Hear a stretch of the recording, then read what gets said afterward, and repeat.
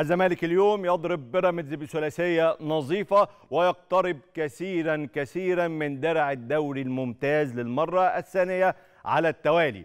صحيح لسه الدوري في الملعب صحيح الأهلي لسه عنده حظوظه صحيح بيراميدز لسه عنده حظوظه بس الزمالك بالأداء والنتيجة النهارده وبفارق النقاط اقترب كثيرا. هذا هو الواقع وهذا هو الأداء الكبير الرائع اللي عمله نادي الزمالك في مباراة اليوم والمباريات السابقة. والفضل اولا وأخيرا لمدرب قدير كبير رائع اسمه جوزفالدو فيريرا. عن كل استحقاق وجدارة ما وصل له نادي الزمالك الآن. ليه؟ ليه عن كل استحقاق وجدارة؟ اللي بيحصل دلوقتي في نادي الزمالك هو الأقرب للإعجاز. مش النهارده في المباريات اللي فاتت كمان. مش أقرب للإعجاز هو الإعجاز بعينه. الزمالك في ظروف في بداية الموسم شبه مستحيلة لفريق يعرف أصلا يبقى في الأربع مراكز الأولى في جدول الدوري. مش ياخد كاس مصر ويبقى متصدر الدوري وهو الأقرب للفوز بالدوري. هتقول لي إيه المبالغة دي؟ ليه يعني؟ كان الزمالك إيه اللي حاصل له يعني؟ أقول لك الزمالك فترتين قيد ما اشتغلش فيهم. إيقاف لفترتين قيد. مفيش لعيبة مفيش تدعيمات. طيب خلاص نشتغل باللي موجود. لا اللي موجود مش عايزين يجددوا عقودهم. اللي موجود عاملين اللي موجودين عاملين مشاكل. اللي موجودين مش عايزين يلعبوا. اللي موجودين عايزين يمشوا. أشرف, أشرف بن شرقي بس سيبك من أشرف يمكن أشرف اللي لعب لآخر وقت بس برضه ساب الزمالك قبل ما الموسم يخلص. طارق حامد بقاله تقريبا ست شهور ما بيلعبش. أبو جبل بعد تماما.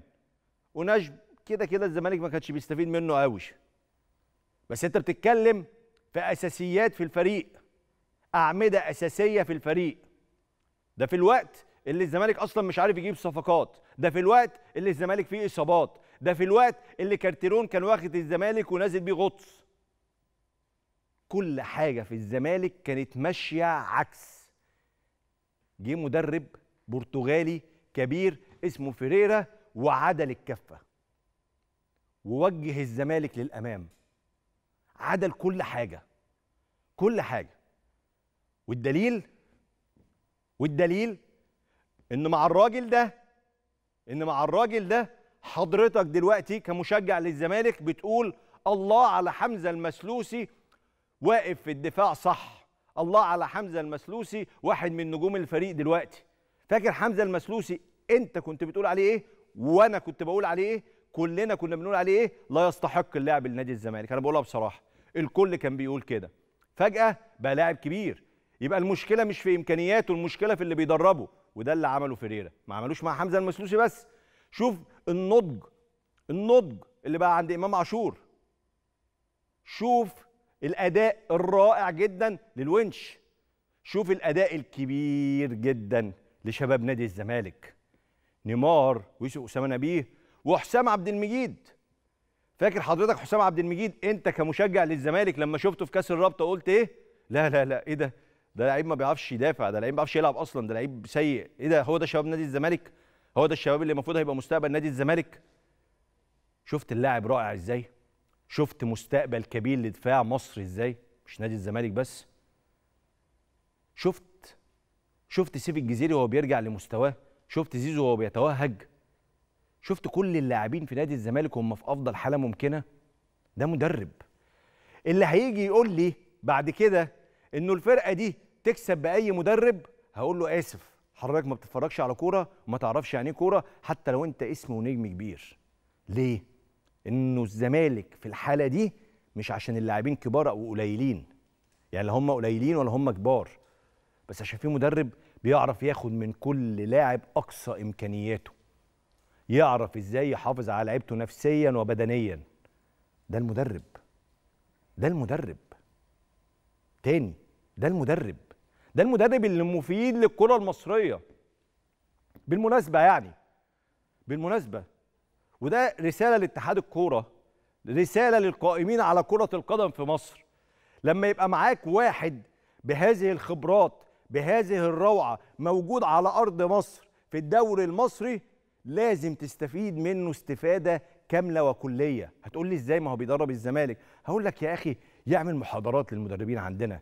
يعمل محاضرات للاعبين يعمل محاضرات لينا.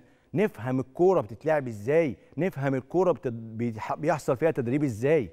إحنا مشكلتنا لما بيجيب لنا خبرات زي دي مانويل جوزيه وكيروش وفريرا والناس النبغات دي ما بنستفدش منهم استفادة كلية.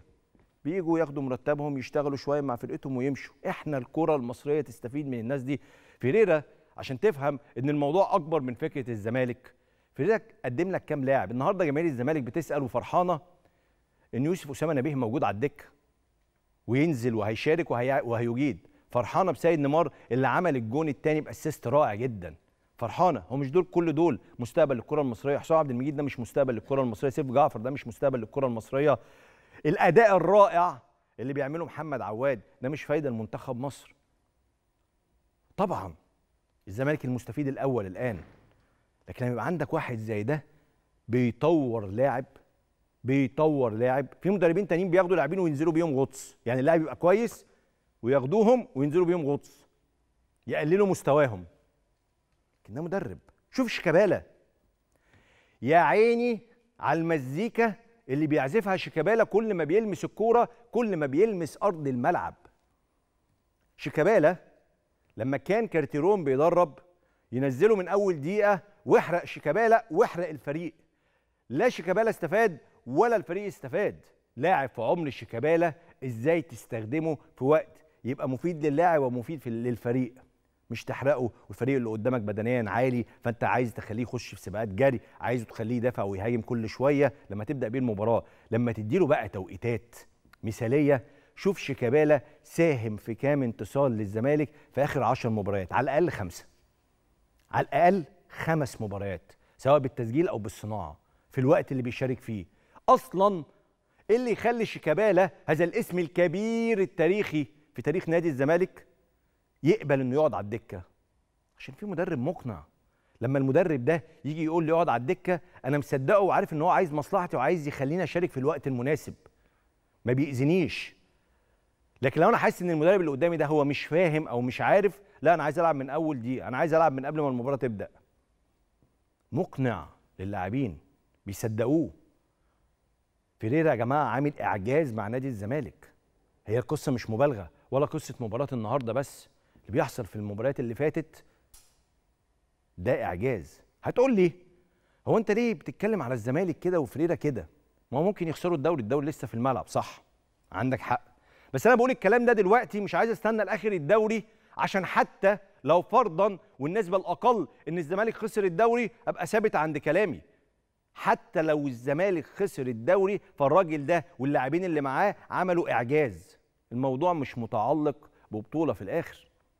أنت كمشجع للزمالك ما كنتش تحلم الموسم ده إن فريقك يبقى في الأداء ده وفي المكانة دي. بطل كأس مصر ومتصدر الدوري بفارق سبع نقاط عن بيراميدز وخمس نقاط عن الأهلي لو فاز بمباراتيه المؤجلتين. مبروك للزمالك.